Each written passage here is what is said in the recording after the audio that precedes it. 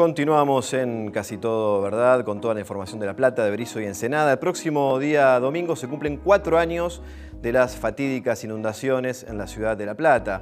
Un momento que muchos platenses, todos los platenses vamos a recordar lamentablemente, porque bueno, fue el momento más difícil que tuvo que afrontar nuestra ciudad y eh, realmente tantas víctimas ha dejado aquella inundación que es muy difícil olvidarse y borrar de la memoria aquel momento del año 2013. Eh, lo cierto es que fue un momento dificilísimo para los vecinos, también para la clase política de aquel momento. El intendente Paro Olvera a partir de ese momento ganó, eh, fue, fue, ganando desprestigio, ¿no? su imagen fue quedando opacada. ¿no? Y es realmente algo a, destacar y para hacer memoria para que nunca más vuelva a ocurrir. Lo cierto es que el avance de las obras fue parcial, se intentó avanzar en el Arroyo del Gato sobre todo, pero lo cierto es que no se han terminado hasta el día de hoy muchas de aquellas obras que haría que un, un efecto como lo que pasó hace cuatro años, aquellos 400 milímetros en muy poco tiempo, eh, no hay nada que nos diga que esto no puede volver a ocurrir. Y justamente el actual intendente Julio Garro estuvo hablando eh, en una radio local sobre lo que pasó y lo que puede llegar a pasar en la actualidad, por esto mismo de que las obras no han concluido. ¿Qué dijo el intendente Garro respecto a esto? Vamos a compartir ahora unas textuales y analizar algunas de las frases más importantes. Por ejemplo, esta. Si hoy volviera a llover como el 2 de abril, nos inundamos. Y con esto no transmite ningún tipo de tranquilidad, ¿no? Porque no se han terminado las obras esperemos que no suceda este fenómeno climatológico, decíamos 400 milímetros en menos de una hora, porque la ciudad efectivamente no sigue, no está preparada para enfrentar nuevamente esta situación. Placa número uno, la tranquilidad entonces no está para los platenses. La placa número dos, estamos bien con las víctimas de la inundación. Esto habría que preguntarle seguramente a algunos de los familiares de los inundados, a algunos de los familiares de las eh, víctimas de aquel 2 de abril que sumaron más de 100, a ver qué opina realmente, ¿no? si están tan bien con los inundados porque bueno, hubo ciertos avances eh, eh, en contactarse con familiares, pero lo cierto es que eh, ese vínculo entre familiares, inundados y municipio nunca se pudo restablecer, a pesar de lo que está diciendo el intendente en esta entrevista a una radio local. Compartimos la última, textual, la última declaración de Garro. Las obras hidráulicas las vamos a terminar recién en diciembre del año que viene. Esta es una promesa que se viene haciendo desde hace, bueno, tantísimo tiempo y la finalización de la obra no llega nunca. Esto sabemos que es un convenio entre la Municipalidad de La Plata y el Gobierno de la Provincia de Buenos Aires. En la anterior gestión de Daniel Scioli se había avanzado, uno puede ver el arroyo El Gato que realmente se ha ensanchado. Pero eh, seguramente esto, si pasan estos 400 milímetros o parecido, nada indica que no se inunde la ciudad. Por eso la promesa del intendente, y la tomamos muy en cuenta, en diciembre se van a terminar todas las obras, esperemos que realmente sea así, diciembre del año que viene, ¿no? del año 2018. 2 de abril entonces, seguramente muchos actos va a haber, diferentes asambleas se van a estar movilizando y toda la ciudad de La Plata va a estar ahí muy pendiente de lo que pase en este recordatorio. Vamos a pasar ahora a otro tema. El Teatro de la Universidad Nacional de La Plata presenta su programación para este año 2017 en el teatro que está ahí en 10, en 354 y 55. Todos los sábados va a estar La Nona, esta obra de teatro clásica de la República Argentina y presentaron toda la programación. Compartimos entonces la palabra con un integrante de este teatro.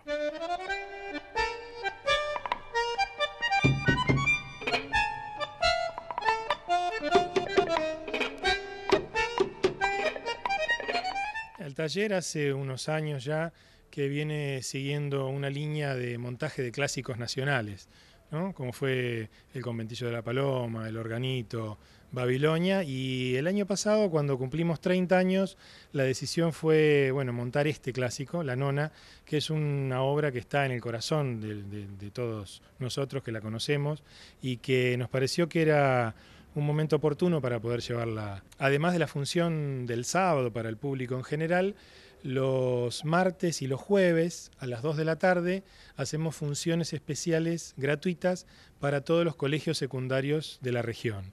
Entonces, coordinan, coordinamos con ellos y ellos coordinan con nosotros para poder eh, traer a los chicos de los colegios, de los últimos años de los colegios secundarios, para que puedan ver las obras. Em, la nona estamos haciéndola todos los sábados a las 21 horas en nuestra sala, el taller de teatro de la universidad, que queda en calle 10, entre 54 y 55. Tenemos un teléfono para las reservas, que es el 423-2283.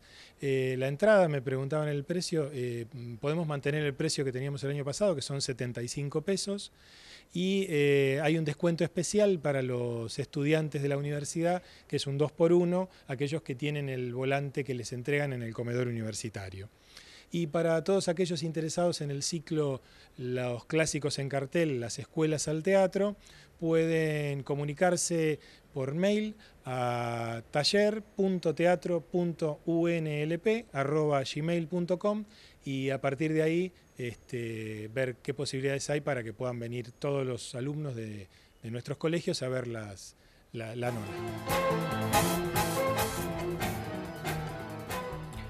en casi todo, ¿verdad? Pasamos a nuestro segundo compacto de noticias, repasamos información local, provincial y de la República Argentina.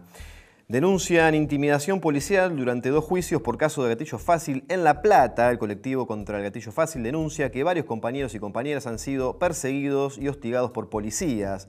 El colectivo viene trabajando en el juicio por el asesinato de Andrés Núñez y en el juicio por el asesinato de Omar Cigarán. En estos casos está acusado el ex comisario Luis Raúl Ponce por la desaparición, tortura y asesinato de Andrés y el policía Diego Walter Flores por la muerte de Omar. Ambos juicios tienen alegatos finales durante el día de hoy. Fallo a favor de los trabajadores. Hablamos con Ezequiel Carona, que es chofer de la línea Este. Nos contó que la justicia determinó que la empresa Corbelli, de Corbelli, pague los sueldos adeudados a siete trabajadores que se encuentran con carpeta médica. La justicia dictó un embargo de una unidad como parte de pago. Hoy por la mañana, un inspector de la justicia junto a los choferes fueron hasta la cabecera para concretar este embargo. Legalmente la empresa tiene cinco días para efectuar el pago de los sueldos adeudados, si no, la justicia ejecutará este embargo. A partir de mañana, el DNI digital será único y válido. Los DNI escritos a mano entraron en la cuenta regresiva. Este sábado perderán toda vigencia, al igual que todos los documentos hechos a puño y letra. A solo tres días de que se cumpla el plazo estipulado para renovarlo, aún hay más de 700.000 personas que no lo hicieron. El costo del trámite es de 60 pesos. En la web del Ministerio del Interior se pueden encontrar ahí cuáles son los requisitos para cambiar entonces el DNI. Pasamos rápidamente ahora a las placas del clima. ¿Qué nos depara este fin de semana? La cuestión climática. Para hoy viernes, parcialmente nublado. Cierra la jornada una mínima de 19, una máxima de 23. Para el día sábado, parcialmente nublado, una mínima de 19, una máxima de 26. Y para el domingo, lo mismo, nublado, mínima 19, máxima 23. Y con esta música de reggae ya casi nos estamos yendo. Una musiquita para entrar en el fin de semana, porque se viene buen clima entonces a disfrutarlo. Recordamos nuestra línea de contacto, 221-362-2831. Se pueden comunicar ahí con la producción de Casi Todo Verdad para mandarnos su reclamo, su sugerencia, lo que ustedes quieren compartir con nosotros, que seguramente será retransmitido aquí en este programa. Quédense ahí, que ahora viene Objetivo Universidad programa que habla sobre la UNLP, todo lo que tiene que ver hacia el interior y hacia afuera de la Universidad de La Plata. 15.30 comienza este programa en vivo aquí en TV Universidad. Gracias por estar del otro lado. El lunes estamos aquí nuevamente, 14 y 15 horas con toda la información. Que tengan muy buen fin de semana y nos vemos. Chau.